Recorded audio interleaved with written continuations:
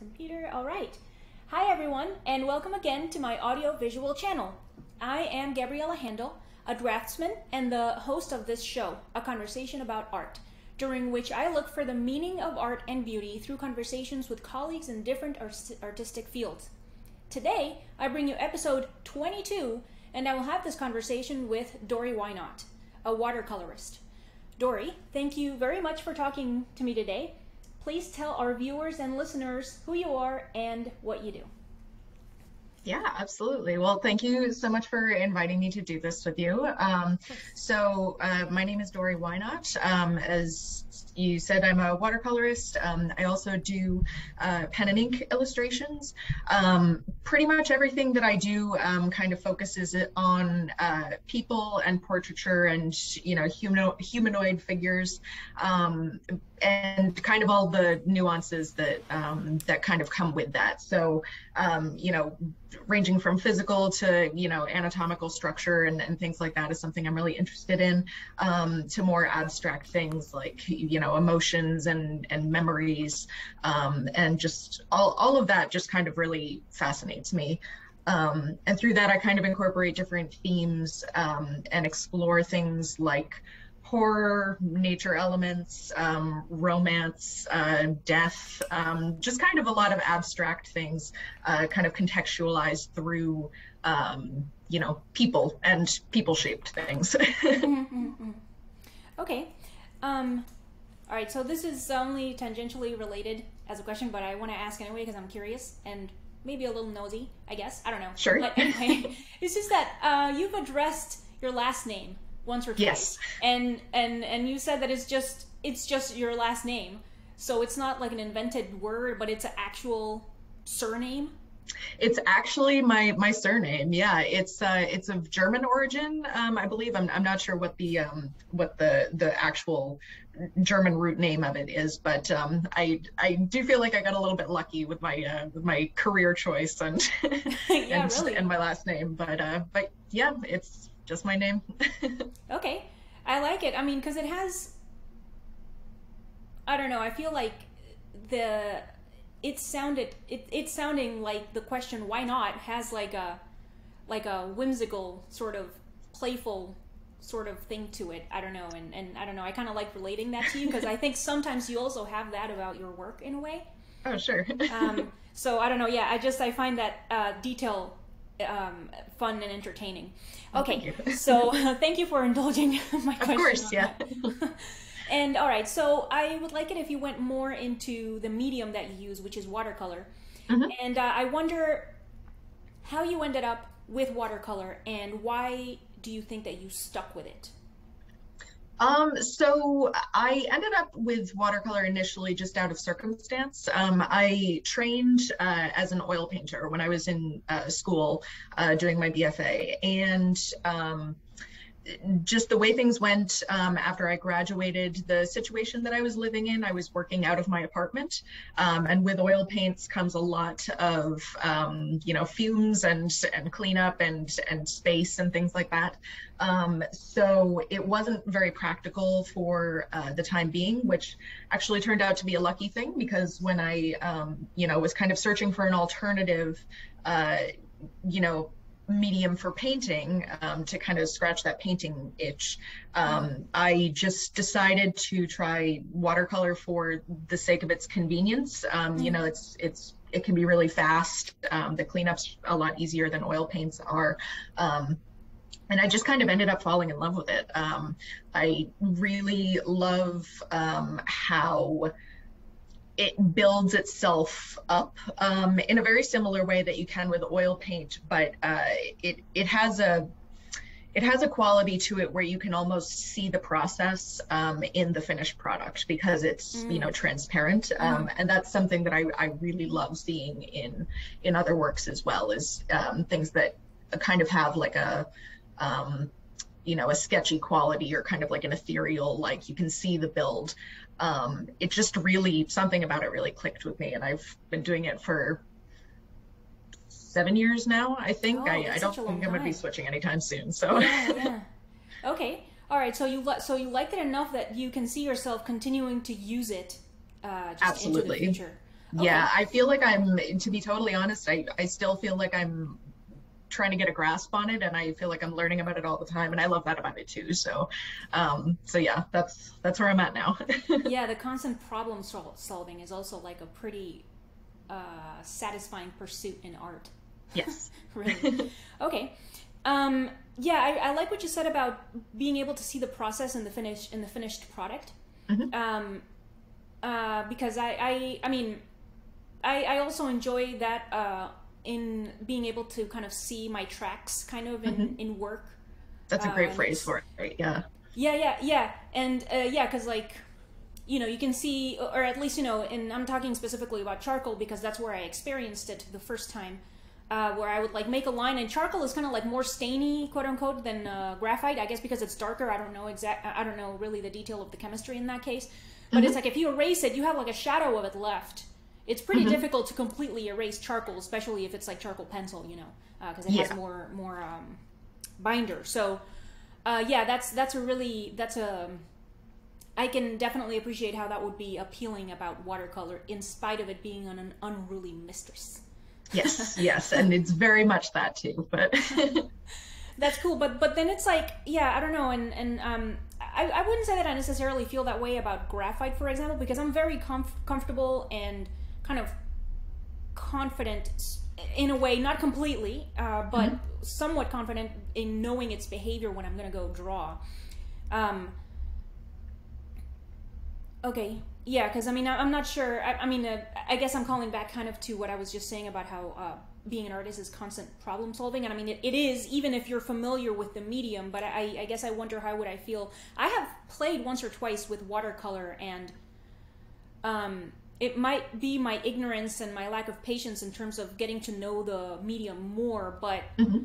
um, i guess I, I, wonder in terms of you know if what you wanted was to paint how come you didn't or, or why do you think rather why why do you think you didn't uh, i mean did you try like acrylic for example acrylic paints it's also water based you know no fumes. i've done acrylic in the past um, and i do um, I, I love acrylics i'm i'm not sure why I landed on watercolor exactly. I had actually had kind of a, a, conflicting experience with it before when I was in school. I had taken a watercolor class and it just didn't really, I, I don't know, it didn't really sit with me. Um, and it kind of always stuck with me that something about it didn't didn't click when I was in that more academic setting. Um, I think I was kind of just more curious to maybe explore it kind of on my own terms and just kind of figure it out and see how I like to use it. Yeah. Um, which, uh, you know, that's not to say anything bad about you know like technique or anything like that because those things are definitely important but mm.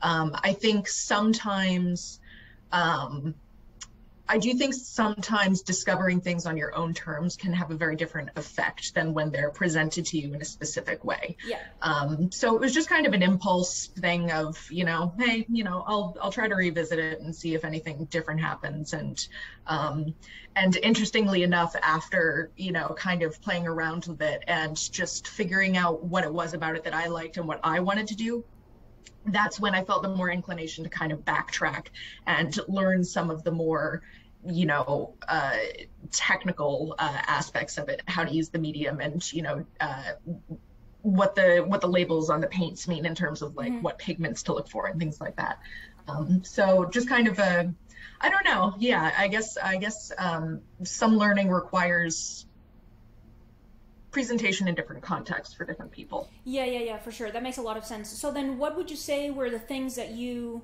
discovered for yourself versus what was taught in the the more technical class? Um I found that I really liked having a more I'm trying to look for the phrase.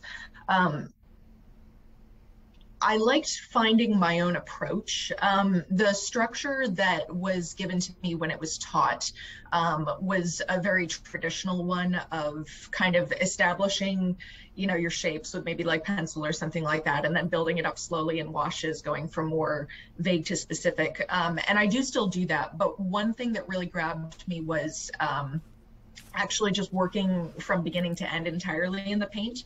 Um, I don't usually do any sort of uh, drawing with pencil or anything like that or set any guidelines. I'll do my sketching uh, kind of with a lighter wash and a smaller brush directly on the page. Um, mm. And in doing that, it's not a process that's for everyone. I mean, you know, it's kind of a, a preferential thing. Um, I really like not having a dead set plan on how I want a piece to end up. Um, I do sometimes, um, certainly, but um, sometimes I'll I'll set out and just kind of not really know where it's going to to end up. Um, and I, I like that the thinking process um, and the planning process can be more simultaneous with the actual making sometimes rather than having them be more separated. Okay, so then the more technical or quote unquote traditional method of using a watercolor is is with like you make a sketch with pencil and I mean is that what they is that what they taught you and then you do your washes and then very slowly start kind of tightening up?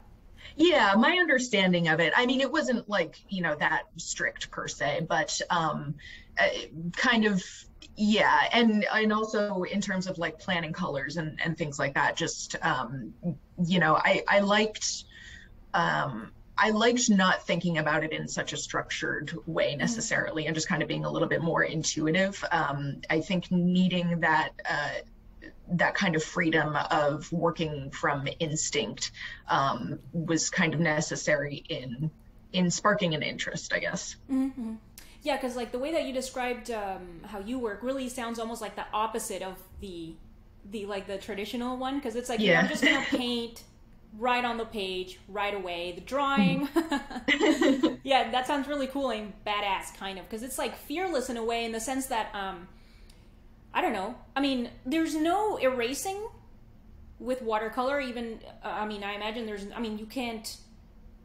I can't imagine you can erase unless you paint with white yeah it's um it's kind of funny. You can depending on the nature of the the actual color that you're using um you can do what's called lifting um which is uh sort of where if you take like a clean wet brush um you can kind of like scrub away the paint a little bit and sometimes it will leave a stain on the page but you can kind of it's sort of erasing mm-hmm. um but um but the paint has to be wet for you to be able to do that no uh, not necessarily. Um, sometimes when it's, it, it really depends on the color that you're using. Um, certain pigments have a higher staining power um, than others, but uh, but yeah, it you know it you get a feel for it after after some trial and error, and of course that can you know backfire if you like kind of over scrub out an area, and that's certainly happened. But you know, comes with the risk, I guess.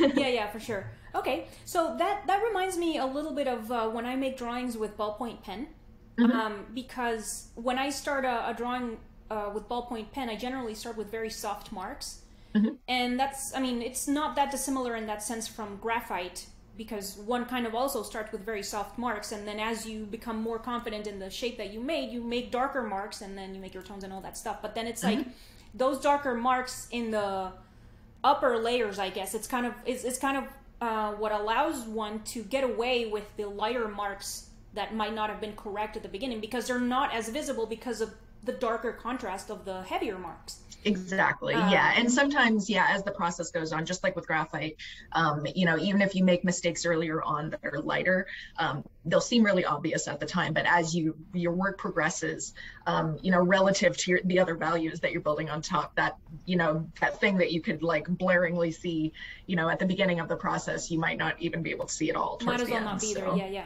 Yeah. Trust okay. the process. uh, so when you use ink, what do you, what tools do you use? Is it a I do not. What is it? A fountain pen, or is it just a ballpoint pen, or what kind of tools? Yeah, I I have a bunch of different pens um, that I really like to use. Uh, my favorite uh, one, I think, qualifies as what's called a technical pen, um, mm. but it's it's essentially the same as a fountain pen, where there's an ink reservoir um, that you fill up, and I use fountain pen ink with it um, rather than something permanent or waterproof like India ink.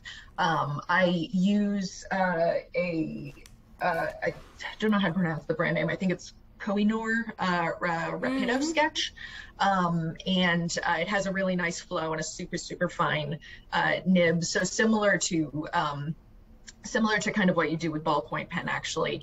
Um, it's really easy to kind of uh, lay out very light marks to start, um, and it really responds well to um, the type of strokes that you lay down and the pressure, um, and you can really control like how much of a mark you actually make on the page. Oh, um, and I find that permanency like really satisfying in terms of like having to really think about, you know, the control that you need in terms of where you're at in the actual drawing process. Mm-hmm, mm-hmm. Okay, so this pen that you're talking about, um, so it, it's responsive to pressure in terms that you can make light marks uh, by make by doing it lightly versus making a darker mark by doing it a, a, a little bit yeah you can kind of um, you can have a lighter touch on the page definitely and then also the speed at which uh, you do it will kind of control the ink flow a little bit ah, so if you make a slower uh, drag, it's going to, you know, make a darker mark. Um, whereas if you're a little bit more quick, it's going to be kind of, uh, you know, a little bit more lighter and mm-hmm. fleeting. That sounds really interesting because I kind of thought it was like um, this one pen that I discovered recent, uh, somewhat recently. It has like a really, really tiny ballpoint. Mm-hmm. Uh, oh, it's a Pentel Slit Slicci. I don't know how you spell it, but it's a very Ooh. small ballpoint. Yeah, and but but yeah. the the ink is water based instead of oil based like the Bic. So oh, then, interesting. Yeah, so like the it's kind of it's so like the water based ink is kind of more like a marker in the sense that it doesn't respond to pressure. Like I was saying just now, you I wouldn't say that you can necessarily make lighter marks, and it's mm-hmm. really more like when you go to do like your volume type stuff, you kind of do it. You kind of have to do it with cross hatching instead of like pressure, like fading out type stuff mm-hmm. Mm-hmm. Uh, that you can do with the, the or um, that you can do with the ballpoint pen. Similarly to graphite as well. So so it sounds like the the technical pen that you're talking about is not like the water based ink it's it's kind of in, like between, in, between, I would ah, say. okay, okay. Yeah, yeah, it's kind of a, a halfway medium um, between those. Where, you know, if you were to do some like really heavy duty shading, um, then yeah, you're probably going to want to go with you know more of a hatching technique than um, than kind of like a, a shading um, like you would do with ballpoint pen or graphite. Um, but in terms of like your line quality, um, it definitely responds to you know you can get a little bit of variance um, in terms of like how you're actually laying your mark down. Mm. Um, and I, I, kind of like that it has that duality of, uh, you know, you can. Yeah, yeah, I definitely, I really, I mean, because when you put up drawings made with this, with this pen, mm-hmm. uh, the marks are really, I mean, it's obviously your hand is there, so it's like your mark, but like the line that the, that the pen makes, mm-hmm. are they're just beautiful lines. So that's that's really nice, and it makes me curious. I mean, and uh, uh, thank you also again for for elaborating on that. Okay, so um, when when do you turn to watercolor to make something versus when you turn to the technical pen to make something? Like what do you feel that you can say with watercolor that you can't say with the pen and you know vice versa um, there's a lot of factors that go into that. Um, definitely, uh, one of them is is color. Um, you know, if I feel more inclined for a piece to have, you know, full color, or even if it's like a monochromatic, um, that's definitely part of the process. Um, you know, in terms of if color is important for you know setting some sort of mood or if there's something that i want to say um, through that um, also, with watercolor being my primary medium, it's you know the thing that I'll, I'll usually go to the most. Um, the nature of watercolor is almost on the opposite end of the spectrum as you know doing drawings with a pen. Mm-hmm. In that you know watercolor kind of has a mind of its own, and you can make very you know bold and kind of big squishy paint marks and and you know lay things down very quickly um, and you have a lot of you know options in terms of you can make things very vague or very detailed kind of all you know within one medium. Um, whereas pen drawings um, is all it's much tighter. Um, and uh, it's i really love working with uh, pen drawings when i want to when I want to get a lot of detail on something, um, not necessarily detail as in like detail of the image, but like um, you know components of the drawing that I, that have very little like details in them kind of more like illustrative qualities um, mm. and then uh, at the same time it's also more minimal because you're not dealing with so much in terms of you know color and uh, the type of marks that you can get um, and i like having that challenge um, i i kind of feel like uh, doing doing drawings with a pen um, is I, I call it my my creative outlet away from my creative outlet mm-hmm. um, yeah. because uh, when you know when when art is your job um, you know in any capacity um, of course it's you know something we're artists it's it's what we love it's what we do um, but something being your main focus is of course going to change it um, you know in whatever capacity so i think it's really important to have uh, things that you can fall back on that you can still be creative, but um, you're doing something kind of different and you can kind of let your brain refresh and your eyes refresh. And uh, it, it, can feel really good sometimes, you know, if I'm feeling stuck uh, with one medium to kind of switch to the other and then have to kind of reset my thinking. Um, so it's, uh, yeah, I don't know. It's, it's good for that, I think. yeah, I really like what you, the what did you say? Oh, creative outlet. Away from a oh, creative outlet. away from the creative outlet. Yeah, that's really good because because you know if you if you like stick to one one super specific thing like that becomes in itself uh, a little cage in a way where you have limitations because mm-hmm. obviously like the mediums are different and the uh, one does things that the other one cannot do. So like sometimes you want to try another thing or you want to just just for kicks, just for the creativity or for like the freedom or whatever it is. So like that that's a that's such a good way of putting it. Yeah. um. Okay. Um. All right. I'm gonna. Okay.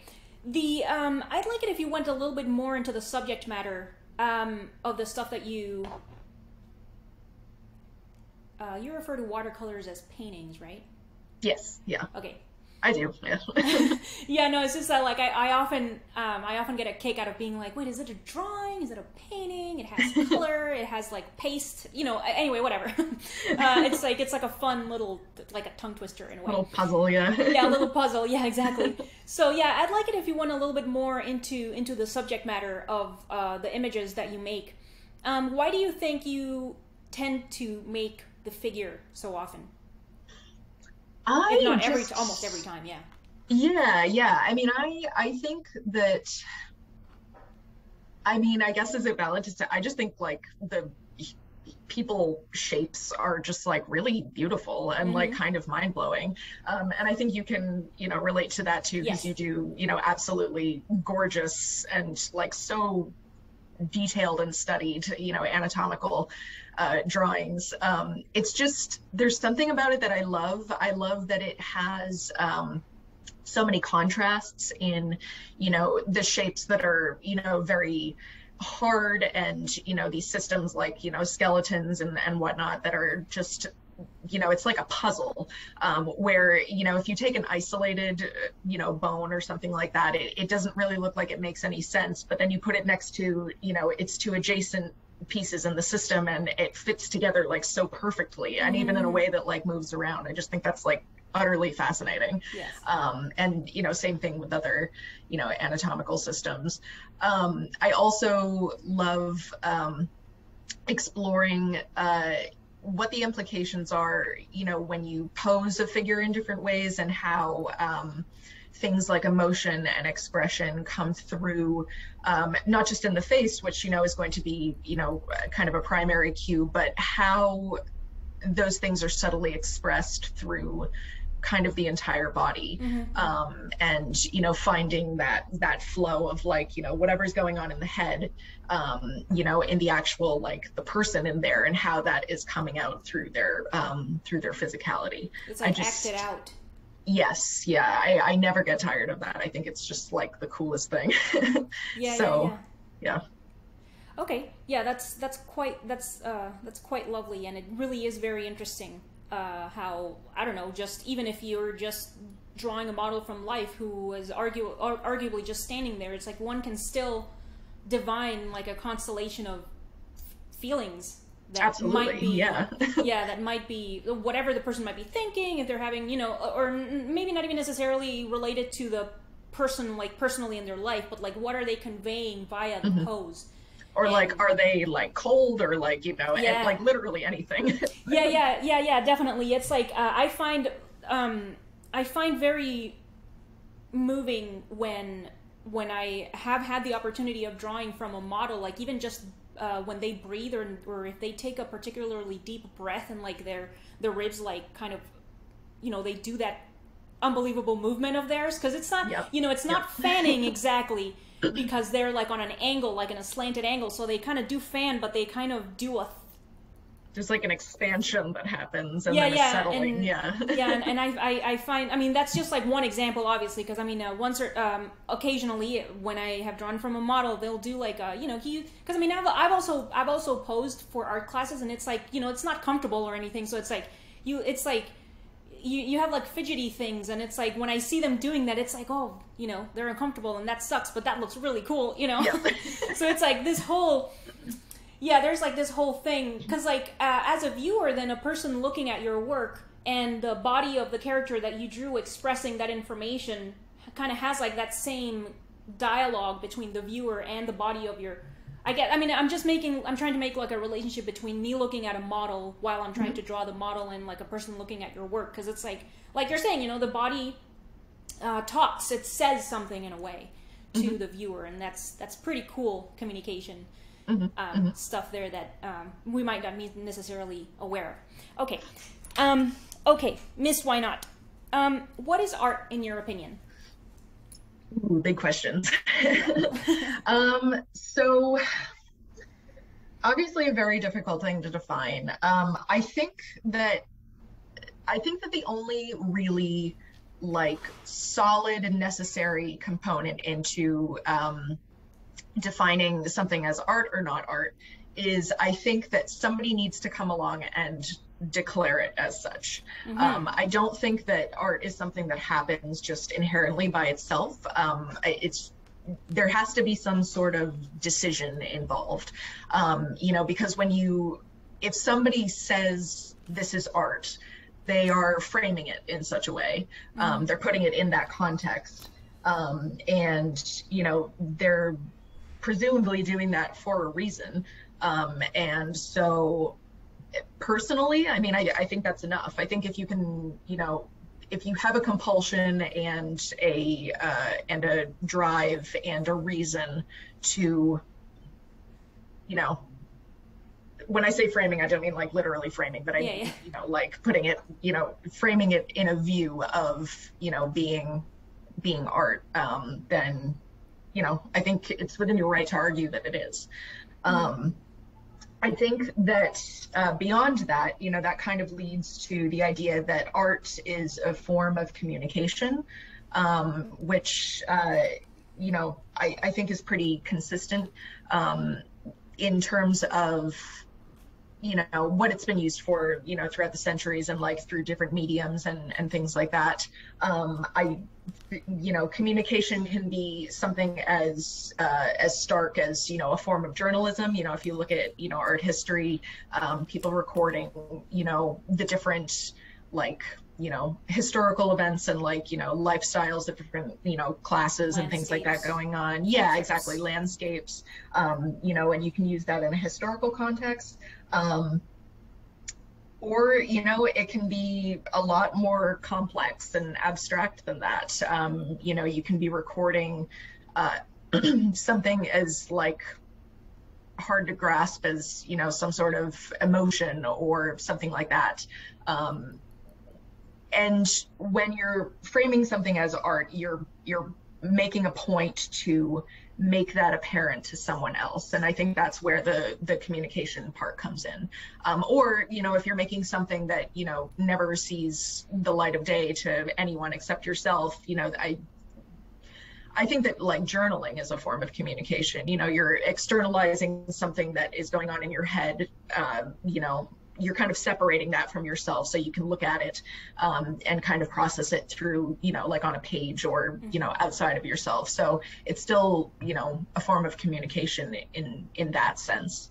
Um, so yeah I, I mean i think i think that that's that's kind of how i would the only kind of thing that i would say is like necessary when it comes to like defining uh, art anything beyond that i think is like can be totally open to interpretation and mm. and you know i'm sure we'll be debating and arguing it until the end of time but yeah yeah yeah it's uh that's one of the cool things really that it's kind of a, a never ending can be a never ending answer mm-hmm, mm-hmm. whomever tries to answer the question okay um okay so like the aspect of communication um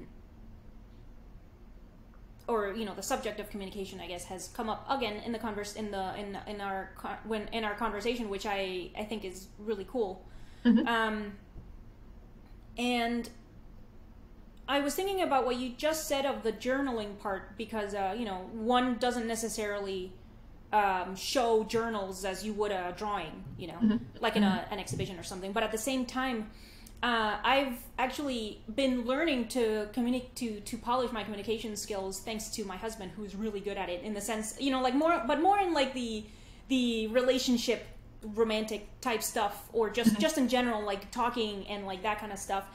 And um,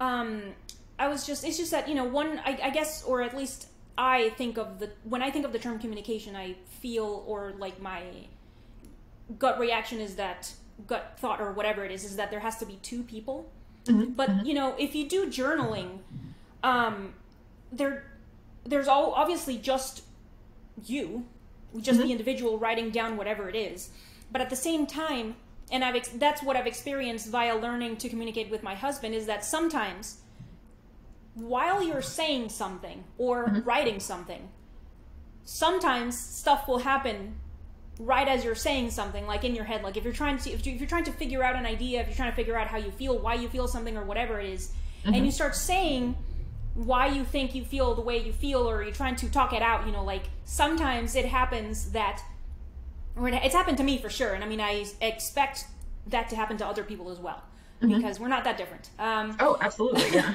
so like um, it definitely happens to me that I realize something while I'm saying the thing that I'm trying to understand. And it's like, oh, okay, so it might be that, and then I'll say that. And then it's like this whole, even, even, and, and that has also happened to me while I'm writing something out. Mm-hmm, uh, mm-hmm. That I have this re- little realization, like it's very fast, and it's kind of amazing that the brain can do that, that we can do that in our brains, you know. Mm-hmm, um, mm-hmm. and so, like that, even if you know, even if there's isn't another person talking with you, like mm-hmm. that communication is like still happening you know I'm, I'm making a loop and you can only see like part of it up here and like in the in the camera but i'm making a, a loop with like the notebook that i have here uh, to take notes and it's like this that is the like it's a communication with with you like with what you wrote and i don't know i just like that aspect um, yeah yeah and i mean saying. i think that you know like communication obviously doesn't have to be words and you know um it, it's not like i mean a lot of artists keep sketchbooks and i, I don't mm. see how that's like totally that different from a journal where it's like right. okay well it's probably not something that i'm going to show but i'm going to try to you know work through some things um, and you know just allow myself to kind of make mistakes and maybe figure things out and that might be an idea that might be um, you know something that you're trying to practice that you want to do for a bigger piece that might be even even it might literally be journaling in that you're just trying to like work some things out just through images rather than words. Mm-hmm. um, but but yeah I, I think that um, i think it's totally possible to you know have that communication with even just yourself. Um, and um, sometimes there's a duality there where you know it might start as a communication you know with just yourself and you know, then it uh, ends up being something that you show, you know, publicly, and and then you're having that communication with them. It involves um, other people, yeah. Exactly. It starts it starts bringing other people in, yeah. Yep, yep, exactly. Okay. All right, so all right, so the other thing that I liked about what you were saying about uh, your thoughts about what art is is also the part about uh, something being declared art. Um, and what I like about, or or at least it makes me think that you know something being declared art or you know when you when a person makes something mm-hmm. and the, the and how art is a form of communication. Um, i enjoy what i um, I enjoy that both those things require participation, deliberate participation, willing participation. Uh, on the part of, um, I guess, I, I guess in this case, mainly the person making it. Mhm. Um, and I want I, I want to ask you about the declaring the art, de- declaring something to be art part. I want to ask you, what is your opinion in that case of,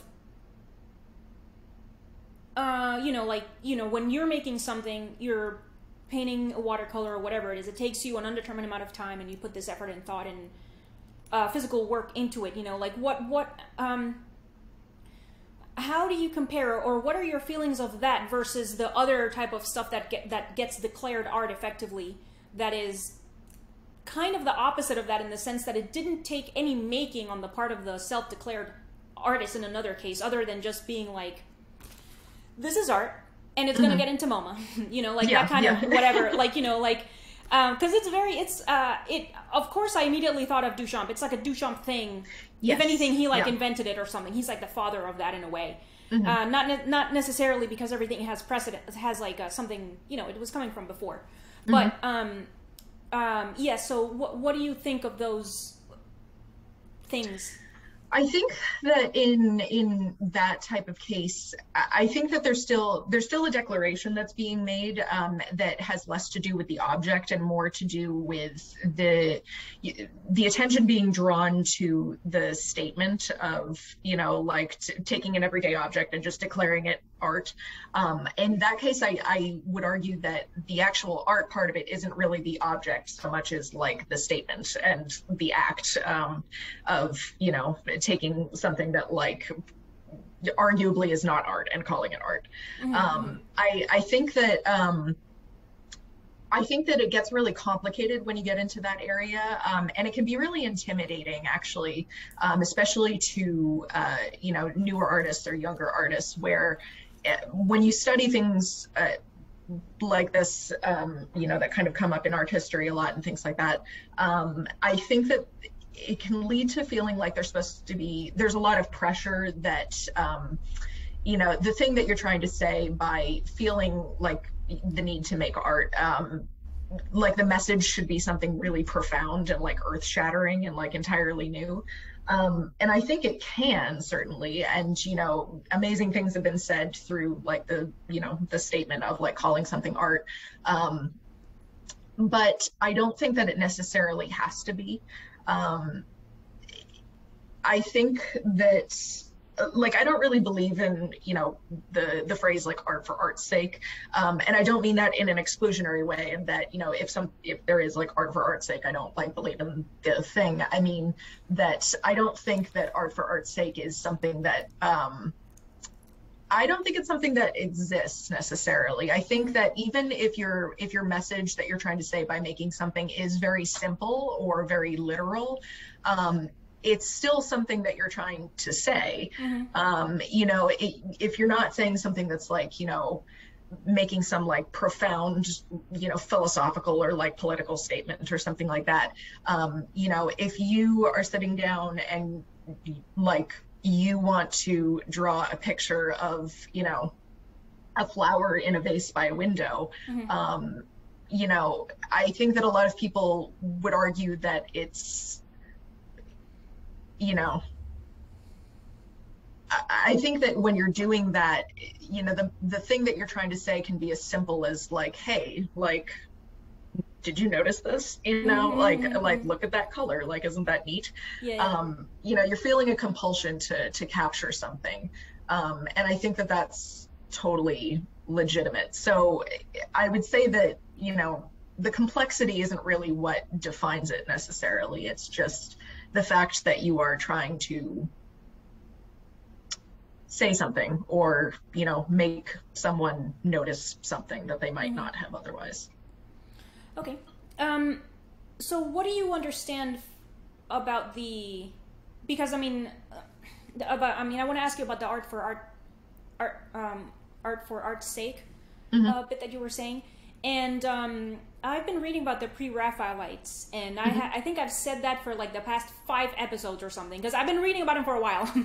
um, and so it, it seems like the art for art's sake movement came out of not the pre-Raphaelites exactly, but uh, just from the that era, like Victorian, something around the time, and so that's kind of one of the things that happened. Mm-hmm. Um, so uh, what I'm trying to say is that I haven't exactly, I haven't gotten to reading what they mean or what they were trying to talk about with the with the movement. So, um, what what what do you understand from this art for art, art's sake? The phrase, at least. What do you what do you think it means? Um, I I don't. Admittedly, I don't under. I don't know a whole lot about the actual like like historical era. Um, you know that that particular movement. My understanding is that it focused a lot on, um, you know. A lot more on the aesthetics of a piece rather than you know um, whatever the alternative of that might be. Um, but I, I think that what I was trying to say is like that that attitude, like you can absolutely you know concern yourself with the aesthetic of a piece, but I think that that uh, if if that's your focus by by making the piece is just you know because it's it's beautiful or you know something like that i, I think that that's enough. Um, because uh, you know you're still you're still feeling compelled to draw someone's attention to that mm-hmm. um, you know to to the beauty of something. Okay. All right. Yeah i think i think the um and and again, I want to reiterate that I'm I'm like I'm not really that well versed in art history or any of that stuff. And but yeah. no, just just because I'm not trying to like necessarily assert uh, anything. Um, mm-hmm. But uh, I get the impression that the the thing about art for art's sake, art for art for art's sake, is almost like a spin-off of something that started around the Renaissance.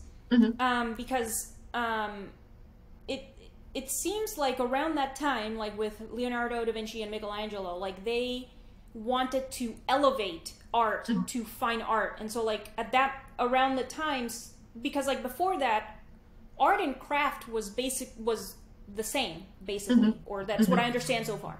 Um and they wanted to make it into a more cerebral, intellectual, thoughtful sort of thing, and so like they wanted to elevate art to a more stu- more studied, studious type thing to try mm-hmm. to say something important and elevating and uh, edifying with the work they were making.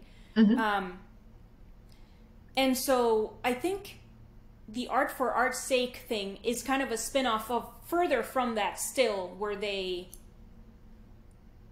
like art can exist just like kind of i mean kind i don't know it kind of makes me think of now that i'm again like i'm talking it out uh, makes me think of what you were saying earlier about you know you just want to talk about something that you that just caught your attention mm-hmm. and it doesn't mm-hmm. have to have some super high-minded thing behind it you know yeah yeah and and that's that's also yeah that's also pretty i mean of course it has a right to exist if mm-hmm. if an individual thinks was like drawn or compelled by that image or like you know by like the vase by the window you know mm-hmm. it's like oh there's beautiful sunlight coming in or something of the sort okay mm-hmm. okay um so, all right, what is then, Miss Whynot? What is beauty in your opinion? Beauty is obviously super subjective, so it's therefore going to be like super difficult to define. Mm-hmm. Um, I can only uh, talk about beauty in terms of like you know what I think is beautiful um, sure, yeah. because you know as with everyone um, that's just that's just going to be the case. I think that I think that beauty really boils down to uh, where where something becomes to a point where you can't explain it necessarily mm-hmm. or reason it, um, and yet you know it it just is. Um, you know, I I don't know why you know like if I'm going for a walk and I see, you know, like a weird like shape that the spine on a leaf is making. I couldn't tell you why that like makes me happy to look at, but it does. Mm. I just I think it's gorgeous, mm. um, and uh, I just think it's really like wild that you know things things exist and like we're just here to like witness it all and it's like mm-hmm, there's mm-hmm. no one can explain why um and that's i i think that that in itself is kind of beautiful that that mystery that you know and and I also find a lot of beauty in um, kind of finding parallels in those things happening too. So like things like um, analogous structures showing up in in nature and things like that, um, where you know you can find these repeating patterns in between things that are you know entirely seemingly have nothing to do with each other, um, mm-hmm. and you know it all just kind of exists in the same universe, um, and I don't know. Yeah, it's it's weird to think about, and it and it gets more difficult to kind of keep a grasp on the more that I think about it. But yeah. um, but yeah, I, I think it's I think it's really when it's when you can't explain something, um, you know, why you love it or why it makes you happy, um, but it just does. So. mm-hmm, mm-hmm, mm-hmm. Okay. Well, in previous conversations that I've had, the nature aspect mm-hmm. in relationship to beauty has come up. Mm, I, uh, I think it's. I mean, I'm not keeping tally or anything, but I, I have the impression that it's like the the the one that has been related to the most mm-hmm. to beauty, which uh, nature, mm-hmm. and I think that's really cool um, because um, I have the feeling that humans, you know, I have the feeling that we have a tendency to try to pretend that we're not mind blown by nature. Yeah. uh, and and I think I just think it's cool that um you know you and other people have said that effectively there's like this connection even even if we can't explain or name or you know really go into like concrete detail about why mm-hmm, it's mm-hmm. so you know it's like why why can't I stop staring mm-hmm. at a little leaf in the autumn? Or like, why does that like the swoop of that shape just like you know? Yeah, yeah. like make my stomach swoop the same way. You know what I mean? But yeah, yeah, for sure. Yeah, the um. I mean, it um. I don't know. It almost makes me think that, uh, and it, it has. I have heard uh, one or two people mention it that um not in the conversation but in other podcasts that i've listened to regarding beauty and art and just like the divine and you know uh, touching almost with religion and like that divinity and stuff. Oh yeah. Yeah um, of course. yeah that um n- naming something almost kind of takes away from its wonder in mm-hmm. uh, sort of and i mean i remember using that very thing as an excuse when i was younger and they were and somebody asked me to explain my work I was like, oh, it's the mystery that makes it blah blah, whatever. And it's like, I mean, sure, yeah. in, in, in, that case, I was using it as a shield for something, but um, I was trying to get away with like not trying, not writing an art artist statement or something. um, yeah. but uh, yeah, there's really something about the mystery of why it is that nature's shapes are so so. It's like the you know why do they stop one in one's tracks sometimes mm-hmm. you know like uh, you know even if you've seen a sunset or a sun up a million times it's like you still it's like still because you know like you're thinking it's like oh i'm on an earth and it's spinning mm-hmm. around this other star a whole ass star it's like we have our own star you know kind of in a way and mm-hmm. it's like anyway you know like the light of that star is touching this earth and it's touching me and it's like that stuff is kind of crazy to think about. And it's like you're just existing in all of it and it's like how how why? It's like yeah and it's like it's a privilege in a way. It's like a, a, not even it's like a miracle that we get to experience it every day that we wake up. I absolutely That's agree yeah. cool. Yeah okay.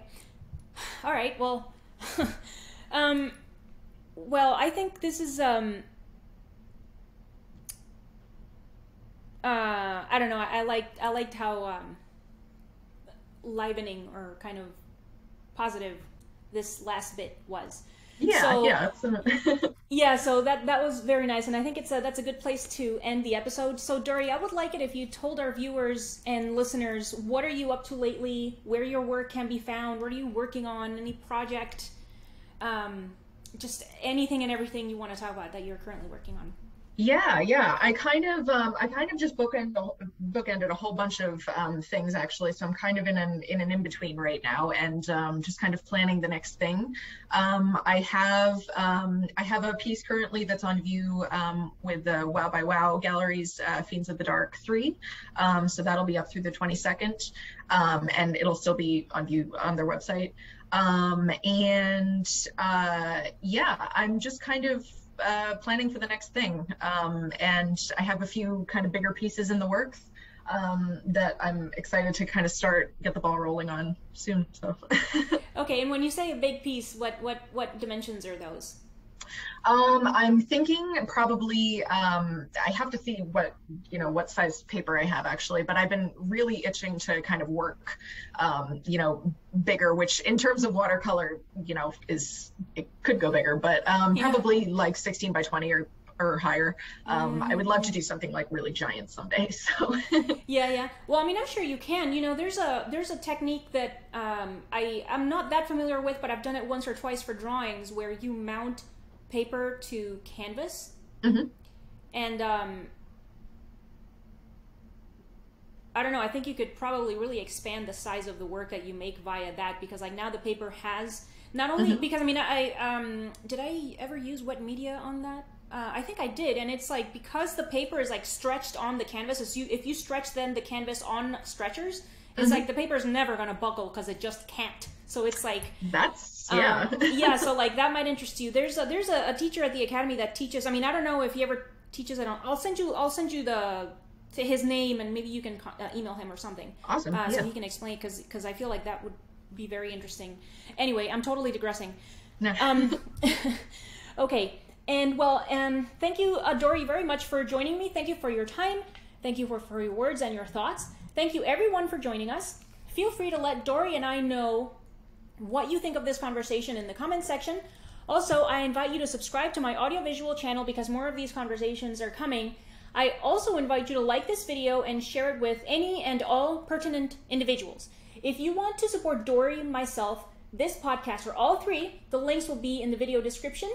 And so, thank you everyone for your time and attention, and uh, we will see you next time. Thank you. Bye.